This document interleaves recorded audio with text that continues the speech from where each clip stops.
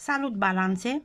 Voi face citirea pentru luna nouă din 1 noiembrie, care se perfectează la 14, gra 14 ora 14.47 în 9 grade uh, Scorpion, 9 grade și 35 de minute Scorpion.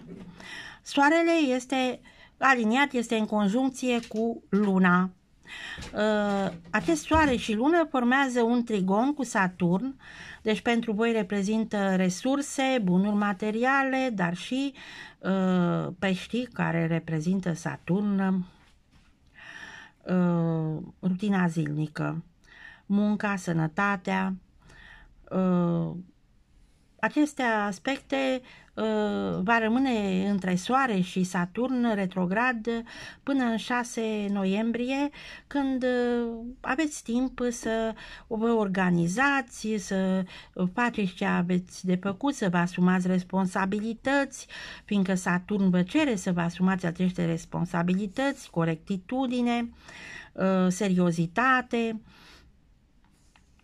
de asemenea, avem aici o poziție. Venus este uh, din uh, comunicare, comunicarea cu frați, surori, veri, vecini.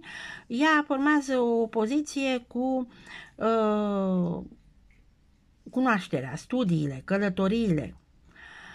Uh, sunt tensiuni pe care le acumulați, poate din cauza cunoașterii, din cauza călătoriilor, din cauza uh, studiilor pe care le aveți de făcut. Uh, și uh, a comunicării pe care vreți să o faceți cu cei apropiați sau cu vecinii, cu frați, surori, veri, vecini. De asemenea, mai avem o opoziție între Marte și Pluto, care am spus că ne afectează până pe 12. Marte și pe voi vă afectează, pentru voi Capricornul reprezintă familia, căminul, trecutul, unde se află Pluto în ultimul grad, 29, Uh, aspecte karmice, dar și Marte, tot în 29, care după 3 noiembrie se va muta în leu. Și atunci vă uh, influențează acest aspect legat de relațiile cu prieteni, cu protectori, cu asociații profesionale, dar și uh, relațiile pe care le aveți cu uh, cariera voastră, menirea voastră este la început până pe 3. Se formează aici o configurație smeu între planeta Pluto din uh, Capricorn, familie, cămin, trecut, relația cu partenerul de viață, cu părintele de același sex, uh, Marte, care este în uh, rac, nu-l luăm în leu, deci uh, mai se va păstra opoziția, dar această configurație zmeul nu. Uh, deci uh, este Marte este cariera voastră,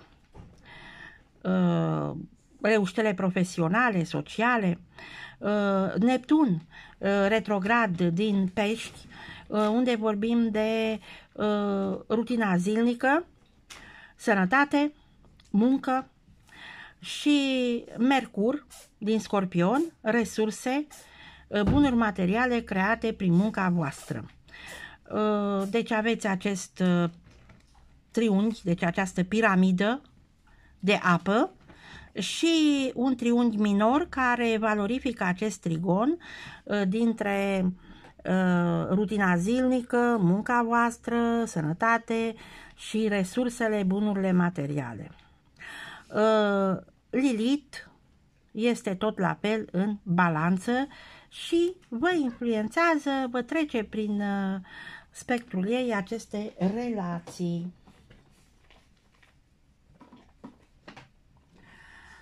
Acum să vedem ce primiți din partea tarotului uh, pentru această lunație, da? Deci luna nouă din Scorpion.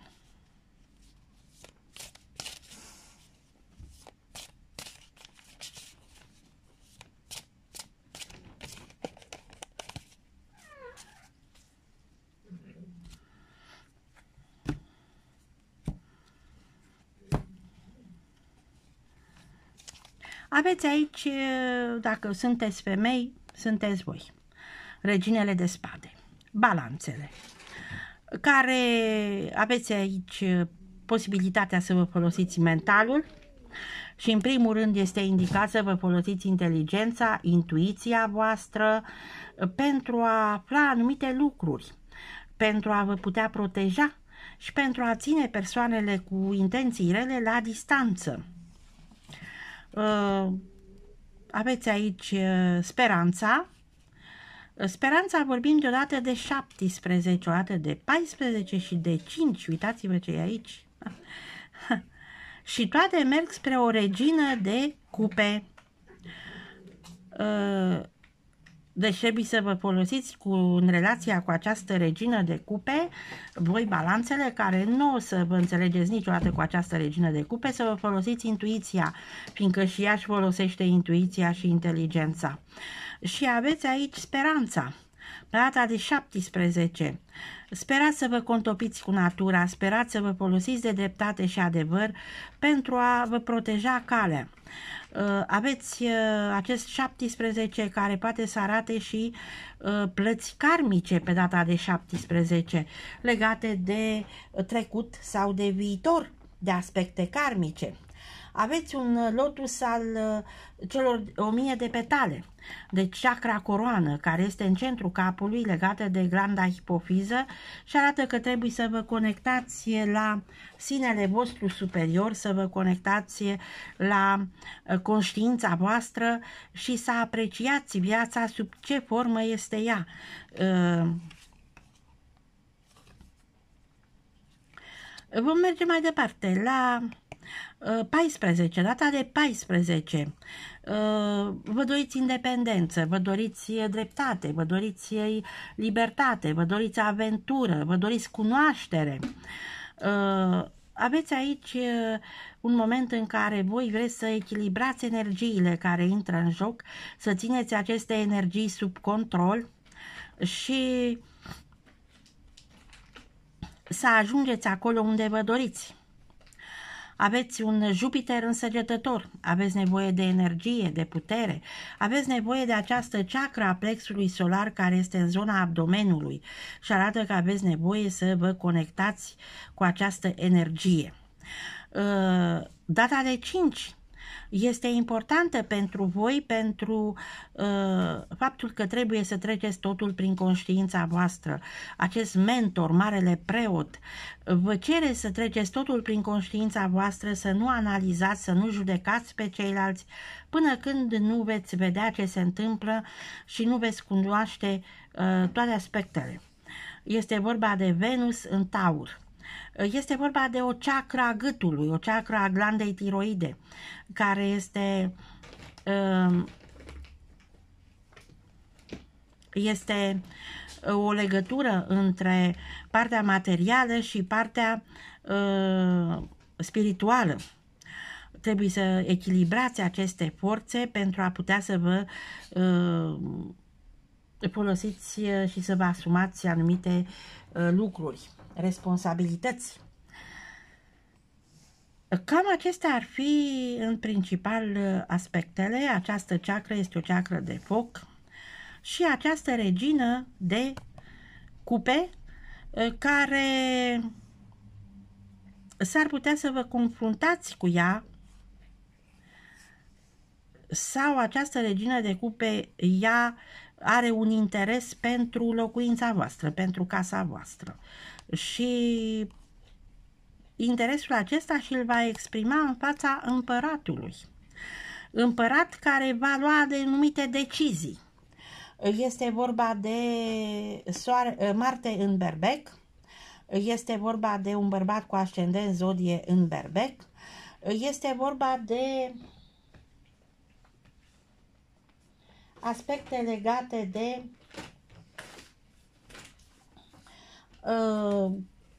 de uh, organizare, de curaj, de energie, de disciplină, ceea ce cere împăratul. Deci, uh, corectitudine, uh, poate fi vorba de data de 4. Când acest împărat poate să uh, impună anumite lucruri, să dea anumite aspecte, anumite situații, să dea anumite sfaturi legate de această casă. Uh, deci poate să îi le dea legat, uh, chiar acestei regine de uh, cupe și legat de ceea ce voi ați întreprins. Haideți să vedem cele trei cărți, că am văzut destul la bază, da, așa, am ajuns la 10 minute, vai, nu se poate. Și uh, iată, aici avem, uh, uh, da, deci sfatul arcanelor, iată, aveți un as de cupe, arătați această iubire, iubire pentru divinitate, iubire pentru uh, cei din jur, aveți o ceacră a coroanei, Eh, vorbim de sentimente, de sentimente, de sensibilitate, de afecțiune, dar în primul rând de aprecierea vieții eh, sub orice formă, de la plante, animale până la om. Și eh, o conectare cu sinele vostru superior, cu glanda hipofiză care este în centrul capului și cu conștiința voastră un uh, prinț de monede, vorbim de un bărbat cu ascendent zodie în fecioară, uh, care uh, călătorește foarte mult, realizează venituri, acumulează aceste venituri. Avem o ceacră a inimii, care arată în primul rând folosirea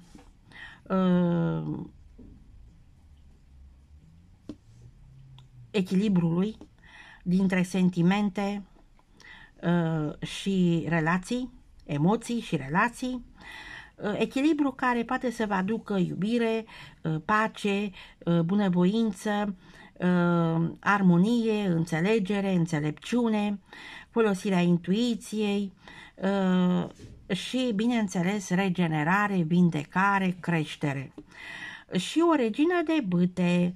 Vorbim de o femeie cu ascendent zodie lună plină în leu, o femeie aprigă, o femeie care luptă, o femeie care uh, pentru o altă femeie este o rivală, poate și pentru voi să fie o rivală, să-și folosească intuiția, să-și folosească mentalul, înțelepciunea uh, pentru a obține ceea ce își dorește.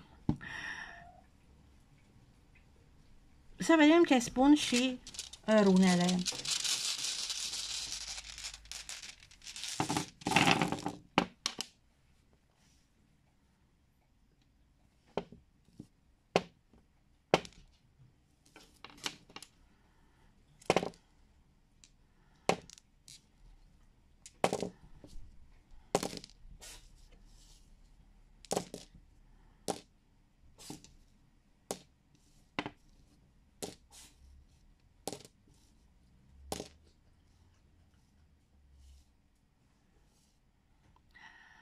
Și iată,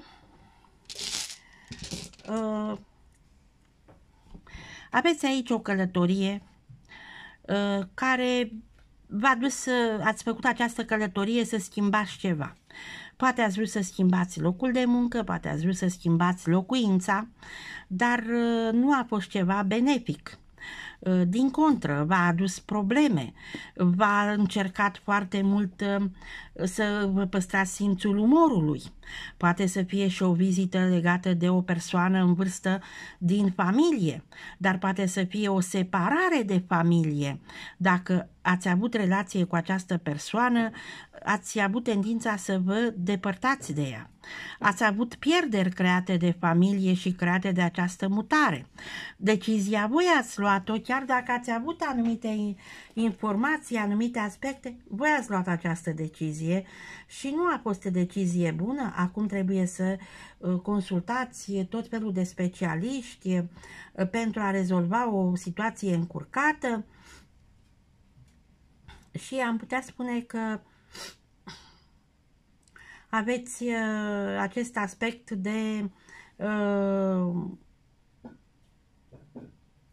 am zice de uh, a veni pentru voi o schimbare, o schimbare lentă, stabilă și benefică, care nu o să o simțiți din prima această schimbare, ea va veni lent și poate să vă aducă energie, poate să vă aducă o victorie, o reușită, dar totul va fi lent, stabil și benefic. Deci, acestea ar fi aspectele și sfatul, așa cum am spus, va trebui să consultați părerea unor persoane calificate și corecte. Uh, eu vă doresc numai bine, vă mulțumesc pentru timpul acordat. Dacă vă regăsiți în aceste citiri, puteți să ajutați canalul să dezvolte, dând un like, abonându-vă, transmițând mai departe. Nu vă costă nimic și vă mulțumesc!